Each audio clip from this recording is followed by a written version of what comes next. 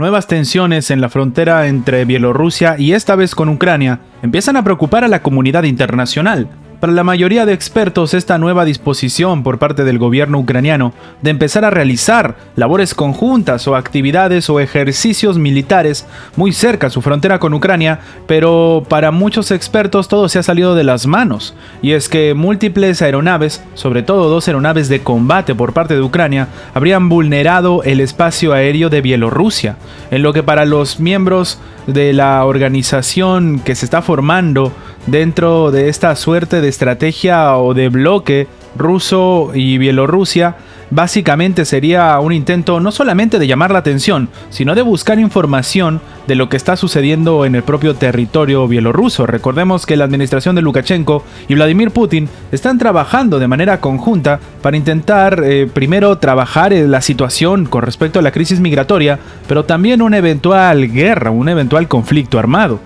Antes de empezar, los invitamos a que se suscriban al canal si aún no lo están y a que nos sigan en Facebook, donde también subimos contenido de la geopolítica actual. Ahora sin más, comencemos.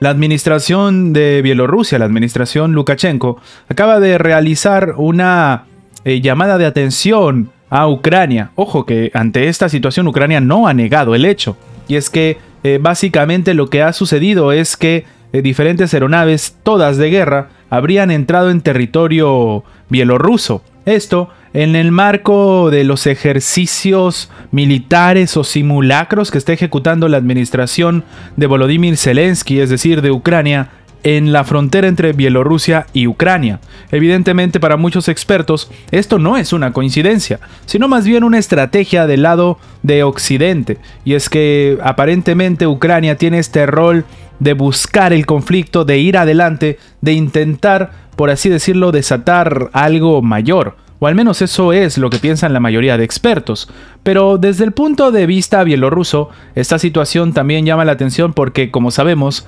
ellos están realizando ejercicios conjuntos y también constantes actividades y acercamientos con la administración de Vladimir Putin. Evidentemente esta situación también llama mucho la atención porque, claro, si tomamos en cuenta que en este caso Ucrania no tiene ningún problema en meter armamento eh, militar cerca de la frontera con Bielorrusia, invita a la OTAN a que se realicen ejercicios conjuntos, por ejemplo en Crimea, por donde supuestamente ellos tienen todavía la jerarquía o al menos la soberanía territorial según la propia administración Zelensky, eh, llama la atención que algunos de los países miembros de la OTAN no estén del todo de acuerdo. Y es que la propia Noruega, país del cual es esto eh, originario, en este caso el secretario general Jens Stoltenberg de la OTAN, acaba de afirmar que va a bloquear el avance de las tropas de la OTAN hacia la frontera con Rusia. Claro, llama la atención porque se supone que en el argumento, entre muchas comillas, de la OTAN,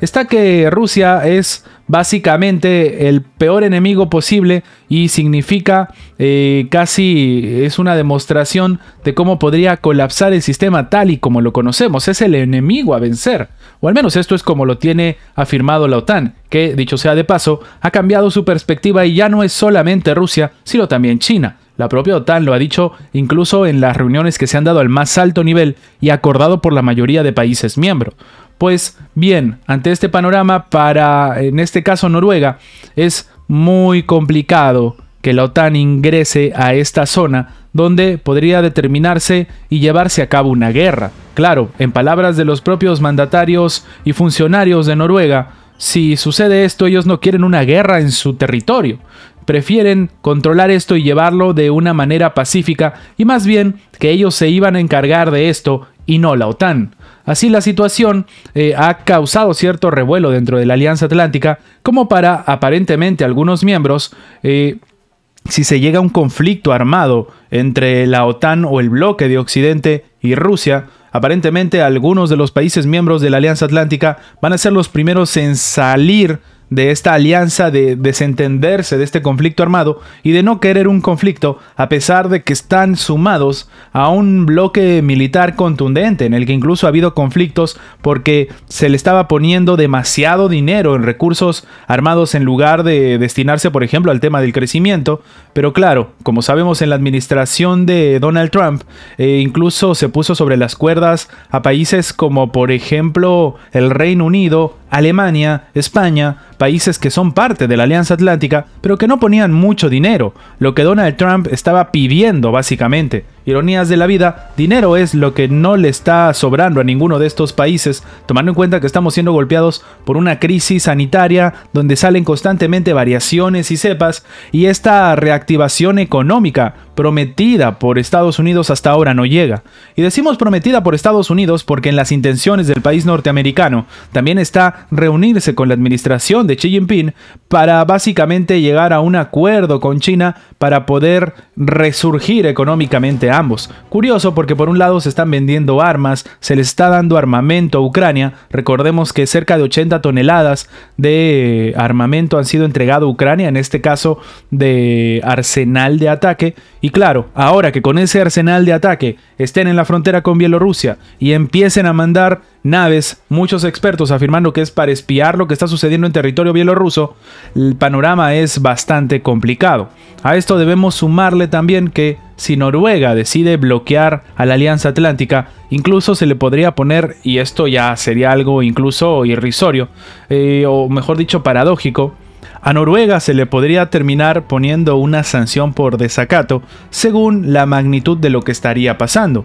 mientras que en otros países como por ejemplo Alemania hasta se han empezado a construir bases eh, de respuesta antiaéreas, incluso se afirma que hay ojivas nucleares, se habla de este famoso paraguas nuclear que significa Estados Unidos para la Alianza Atlántica y más específicamente para Europa, pero todavía resuenan las palabras de Manuel Macron, de que aparentemente la Alianza Atlántica era una entidad con muerte cerebral, y, tal vez más importante aún, el hecho de que para la administración en este caso francesa, no se puede hablar de una seguridad si se evita o se deja de un lado a Rusia. Ante este complicado panorama, ¿qué opinas tú? ¿Por qué ahora resulta que Ucrania empieza a mandarle aviones de guerra a Bielorrusia y después dice que fue un accidente? ¿Por qué Noruega está empezando a retroceder en estas aspiraciones de empezar a mandar armamento y tanques y tropas a la frontera con Rusia?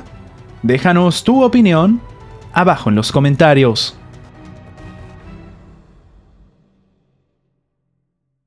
Y antes de terminar con el video, queremos agradecer a los miembros del canal que mantienen en pie este proyecto. Muchas gracias por su inmenso apoyo.